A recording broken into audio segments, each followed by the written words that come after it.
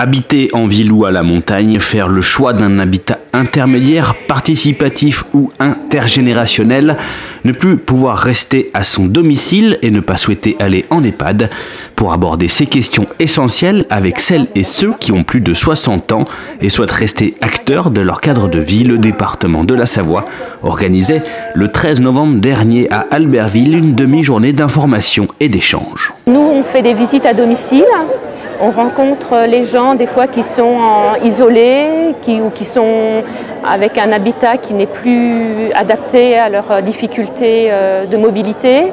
Et euh, donc l'objet aujourd'hui, c'est de dire bah, peut-être qu'il existe autre chose entre l'habitat individuel et l'alternative de l'EHPAD. Il y a bien sûr les résidences autonomie, mais on peut imaginer qu'il y a quelque chose d'autre à créer.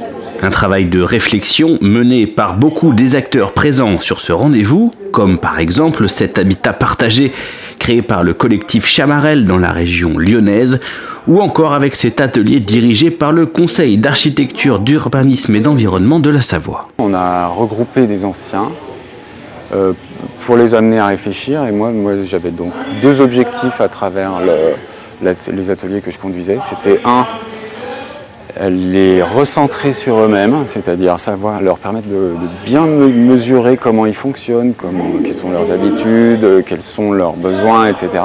Et le deuxième point, c'était euh, habiter ensemble.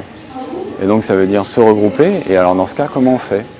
Et donc euh, il y a eu toute une part du travail, au-delà de l'identification de leur propre fonctionnement, c'est euh, OK, qu'est-ce que je suis prêt à partager et comment? Et dans quelles conditions je suis prêt à le partager?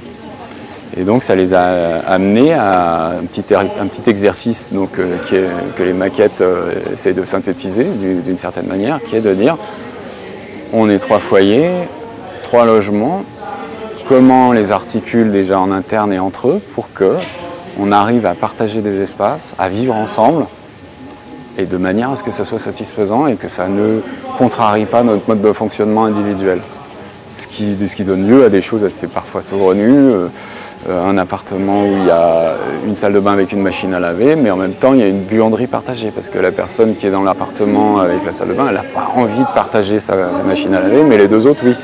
Chef de file de l'action sociale en faveur des personnes âgées, le département de la Savoie dispose de sept lieux d'information, d'orientation et d'accompagnement. Les clics pour centres locaux d'information et de coordination gérontologique des centres répartis sur tout le territoire savoyard.